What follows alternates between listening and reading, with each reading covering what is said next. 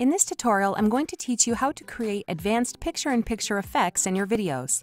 You'll learn how to pan and zoom with your video overlays, how to adjust color, and how to keyframe the movement of your PIP windows.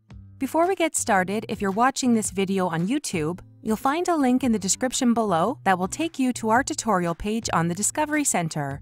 Here you can download a written copy of this tutorial to follow along. Let's get started. In this first example, I want to add a PIP window of a man on a nature hike over top of this scenic video. I've already added the background video to AV Track 3. Now I'll drag the video of the man onto AV Track 2 so it layers on top of the background video. First, we'll need to resize the PIP window of the man, and we'll do that by clicking on the video clip on AV Track 2 and then selecting the Scale Mode icon under the Preview pane. Then we can drag on the nodes to resize the window and make it smaller. We can also click and drag the window to our desired position. I want to add a pan and zoom effect to the overlay so it zooms up on the man's face as the video progresses. To do this, right-click on the clip of the man on AV Track 2 and select Pan and Zoom. Then select Animated. From here, we can choose from any of the animated pan and zoom presets from the drop-down menu. But we can also customize the pan and zoom. The green frame is where the camera will start, and the red frame is where it will end. So I can adjust the nodes on the green frame to adjust the starting point. And then I'm going to click on the end keyframe and adjust the red nodes to be zoomed up on the man's face in the final frame. Then click OK. Now we can press play to preview what our PIP window with the pan and zoom effect looks like with our background video. I want to make some adjustments to the color because the background video is more vibrant than the PIP window on top. So I'm going to click on Editor. Then click on the Color tab to make some adjustments to the overlay color. This will be useful if your overlay clip doesn't match the color tones of your background. For example, if the background is really washed out and the overlay is really saturated. We can adjust any of the color grading controls to ensure both clips match. For this example, I'm going to select the Vivid preset so my overlay better matches my background video. From here, I can play around a bit more with the color grading controls to get a perfect match.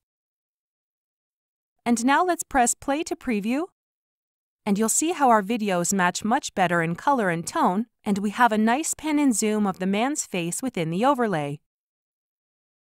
In this next example, I'm going to teach you how to customize the motion of your PIP windows using these clips for a corporate video.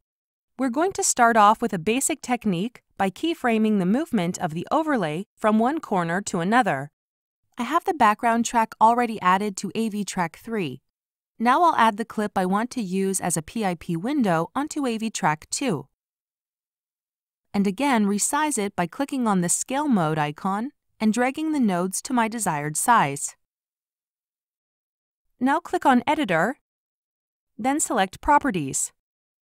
First, I'm going to quickly add a border to the PIP window by scrolling down to Border, then adjusting the width to 7, and then choosing my desired color. And now we'll turn on keyframing by clicking the diamond icon. I'll drag the playhead on the timeline to the end of the video, and then click and drag the overlay to the upper left-hand corner. Now, when we press play, you'll see the PIP window moves from the bottom right-hand corner to the upper left-hand corner as the video plays. Now I want to try something more advanced so I'm going to right-click on the overlay track on the timeline and select Reset Properties. I want this PIP window to go from full screen and shrink to the middle of the screen, and then move across to the left. I'll drag the playhead to the middle of the video, then I'll turn on keyframing again. Then I'll drag on the nodes on the preview pane and shrink the size of the PIP window and position it to the center. Now I'll drag the playhead towards near the end of the video and click and drag the overlay to the left. If we press play to preview, you'll see how the image shrinks into the middle of the video clip and then moves to the left. These are a few of the ways you can enhance your videos by adding advanced picture-in-picture effects. If you're watching this video on YouTube, you'll find a link in the description below that will take you to our tutorial page on the Discovery Center.